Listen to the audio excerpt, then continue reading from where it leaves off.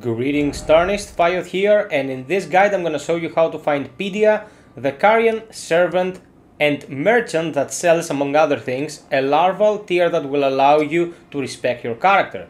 So we're starting from the rightmost tower here, from the Grace, and I will take you there step by step.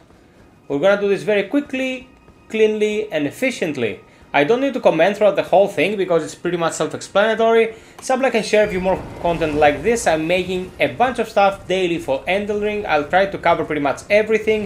If you really want to support my work, visit my Patreon or get a membership on the channel. Until next time, be well, stay frosty, and always strive for perfection, people.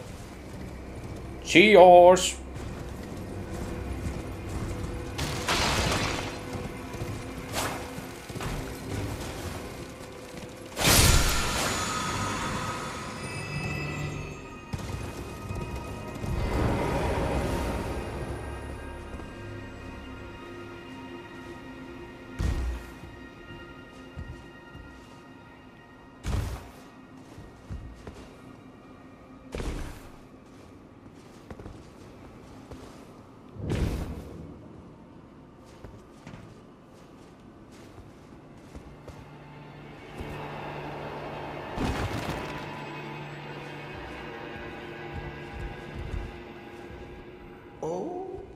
You?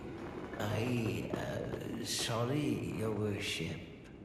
I apologize for any offense given.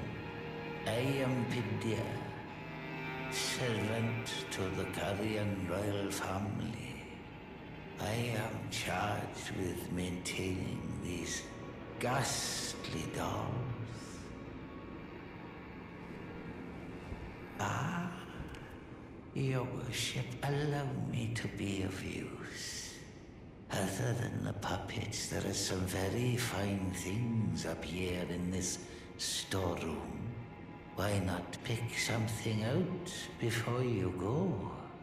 But please, can you offer poor ill-starred Pidia a little something by way of compensation?